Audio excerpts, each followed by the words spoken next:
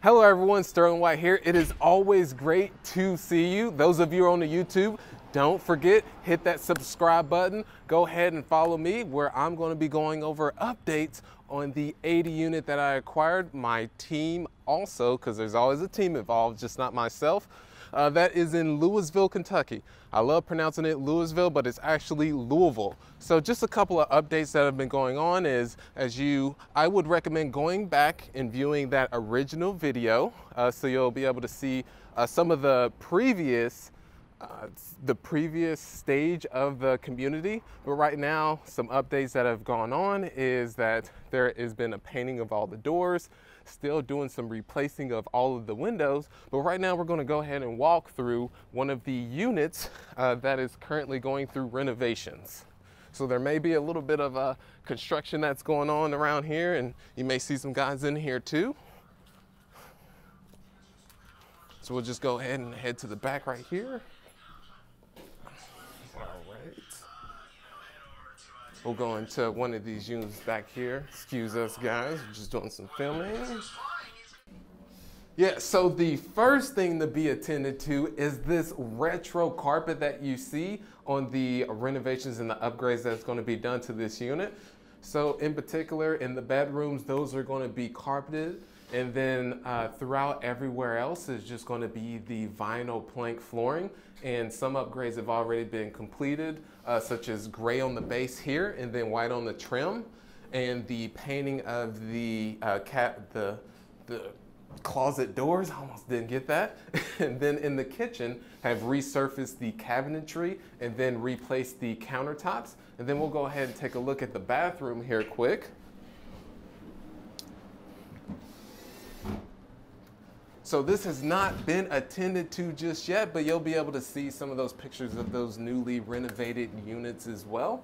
Uh, not even able to turn a light on just yet. So what we're gonna do is we're just gonna go ahead, we're gonna jump into some of the amenities that has been, that we have added to the community. So uh, go ahead and come in this direction. Gotta watch my step here.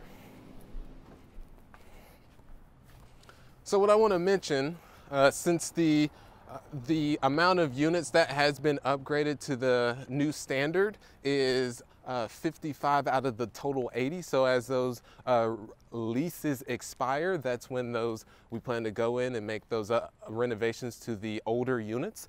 And then in addition to that is the rents have been pushed up a total of about 90 to $95. So formerly a one bedroom was $500. It is currently 595 and the two bedrooms were about an average of $600 and now 695. And on top of that, billing the residents for the water usage as well. $25 for the one beds and then 35 uh, for the two beds. So let's go ahead, here's the office. Formerly the doors are actually green and have switched it to orange.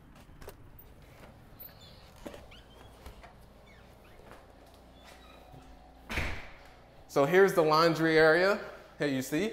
And this is through a third party provider in which there is a contract that's signed with them. So uh, there is a split of the uh, revenues that is produced. It's just been my personal uh, experience. Well, not personal experience, but what I've learned from others is instead of bringing our own laundry equipment in and having that as a, another thing to focus efforts on, such as if one happens to go out, then have to bring one of your maintenance guys off of a job to make those repairs. It's just best to outsource it. That way they take care of it. Normally what, what you'll get is they will give you a commission check up front for them providing the laundry and then of the uh, revenue that comes, the profits that come each and every month, you get a split of that as well. It just depends on your provider. It could be 60 40, it could be 50 50, it could be 70 30. That really does vary. So let's go into my favorite area, which is up here.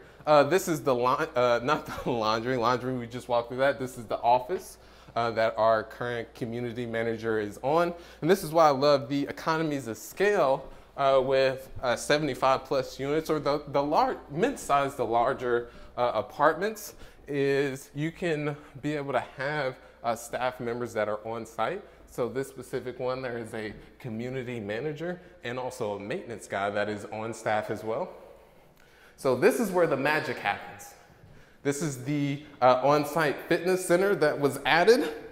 Gonna get some chest in right here. All right, now let's go ahead and finish off with the lessons here. So firstly is that can never be too conservative or just essentially expect the unexpected. So with this specific project had a third party management company and three months in, it did not work out. So the types of things that we encountered was the the timetable in which they were completing the renovations was very slow. The costs were higher than expected. And then there was really no transparency with what was getting done. So ended up cutting ties. Uh, and ended up bringing it, bringing it in-house. So that caused some delays with uh, the timelines on the construction side. So able to quickly adjust, and I give kudos to our team with being able to uh, stay on top of things. Shout out to you guys. The second is follow up. I always mention this consistently because this has been an absolute game changer for myself. And what this specific deal is the first time uh, reached out to the owner. Actually, it took seven attempts just to get in contact with the decision maker and they weren't interested up front. So it took an additional four to five months for them to not be interested to then being interested. And then it took an additional five months to actually close on it through the due diligence, the inspections, uh, et cetera. But it was well worthwhile the wait.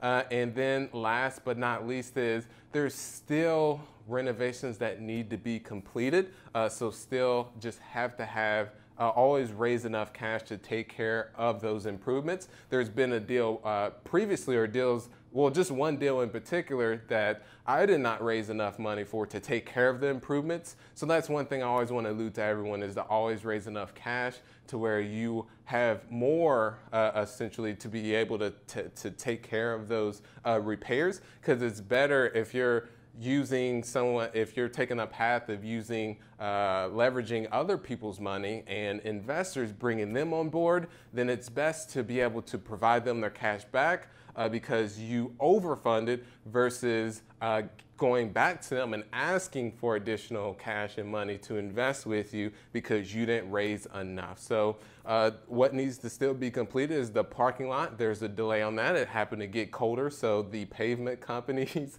uh, closed out. And then also the windows uh, to be repaired uh, as well. Not repaired, but replaced because it is older. And then lastly, to finish the uh, last units that need to be renovated, just have to wait for those residents to move out uh, and then go in there, uh, make the necessary changes, uh, improvements, and then be able to get the additional increased rent. So those are the lessons and just some updates on this uh, community that is the 80 units in Louisville, Kentucky. Yes, I know it's not pronounced Louisville, but I love saying that Louisville, Kentucky. So I'll keep you updated as uh, things keep progressing and just sharing my experiences uh, in this journey because uh, I'm not perfect by any means and I'm still learning and I want to share those learnings with you, the successes, the good, the bad, the ugly, etc. So I'll catch you on the next one. Have a great one.